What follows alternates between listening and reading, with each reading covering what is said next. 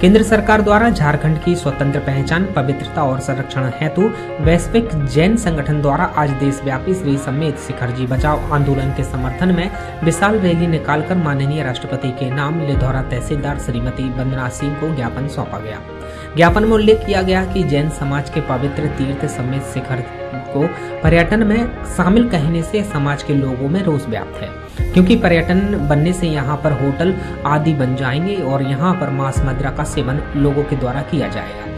जबकि जैन समाज पूर्ण रूप से अहिंसावादी एवं मांस मदिरा का पुरजोर विरोध करता है। किंतु ऐसा होने से यहाँ की सुरक्षा एवं गोपनीयता पूर्ण रूप से भंग हो जाएगी। इसलिए 20 जैन तीर्थ करो और अनंत संतों की मोक्ष स्थली श्री समेत शिखर जी पारसनाथ पर्वत राज को बिना जैन समाज की सहमति से कोई भी निर्णय न लिया जाए। तथा पारसनाथ पर्वत राज और मधुबन को मांस मदिरा बिक्री मुक्त पवित्र जैन तीर्थ कर घोषित किया जाए।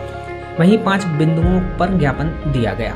आज सुबह से ही लेधौरा सकल, दिगंबर जैन समाज के लोगों द्वारा अपने अपने प्रतिष्ठान बंद कर के मंदिर के बाहर एकत्रित होकर अपने अपने हाथों में केंद्र सरकार के विरोध में नारे लिखी हुई तख्तियाँ लिए हुए थे एवं विरोध स्वरूप अपने हाथों में काली पट्टी बांधकर नारेबाजी करते हुए तहसील कार्यालय पहुँचे एवं राष्ट्रपति के नाम लेधौरा तहसीलदार को ज्ञापन दिया गया।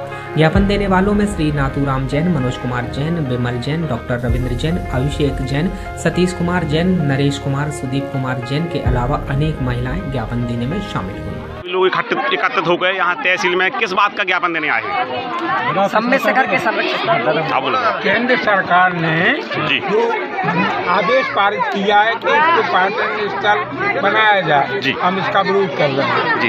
ये ये ज्ञापन कहाँ कहाँ दिए जा रहे हैं? ये पूरे भारतवर्ष में।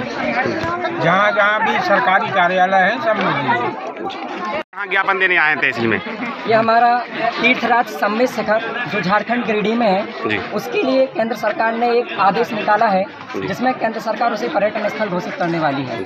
और अभी विगत दिनों में देखा गया है कि वहाँ पे कई अजैनी लोगों के द्वारा जूते चप्पल पहन के पवित्र तीर्थ सम्मित शिखर पर पहुँचा गया है और वहाँ उन लोगों ने आधुनिक तरीके से पार्टियाँ की हैं जिससे भक्ष्य और अभक्ष्य का कोई मर्यादा जहाँ नहीं रखी गई है। अतः हमारा केंद्र सरकार और झारखंड सरकार और पर्यावरण वन मंत्रालय से निवेदन है कि जैन समाज शुरू से अहिंसक रही है और राजतंत्र में भी कभी सम्मेद शिखर के ऊपर कोई आँच नहीं आई है।